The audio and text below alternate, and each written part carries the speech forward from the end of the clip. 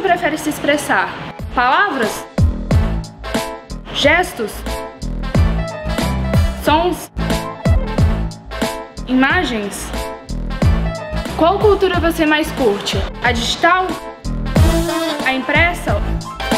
Ou a analógica? Você já pensou nas conexões entre todas as mídias? Por meio de oficinas práticas, vamos explorar e ampliar as experiências de vocês no universo das várias mídias, com destaque às digitais. Faremos fotografias, vídeos, memes, desenhos e muito mais.